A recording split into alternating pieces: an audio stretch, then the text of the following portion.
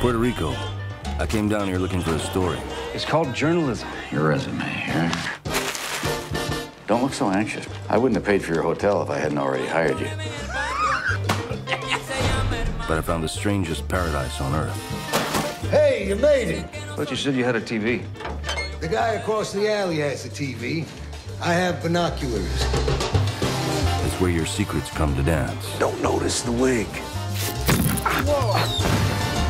And the voodoo works its magic. And if the drinking doesn't get you into trouble, How does anybody drink 161 miniatures? are they not complimentary? The women definitely will. I thought maybe you were a mermaid. I'm from Connecticut. Manos pa arriba. Stay away from her. She's Sanderson's fiance. She sunbathes in the nude. Take it like two maracas. She's a sweet little beauty. I was looking at his boat. We've all been down on her. It's a wonderful experience. Hmm.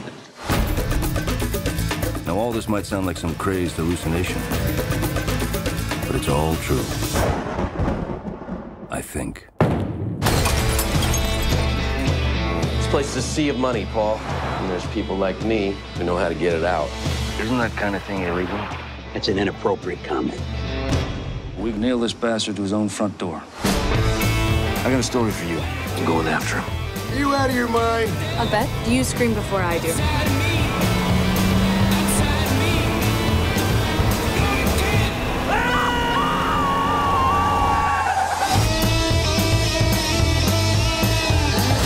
No such thing as 470 proof alcohol. What we do is private. Front seat's gone. I've got a brilliant idea. Try and look normal.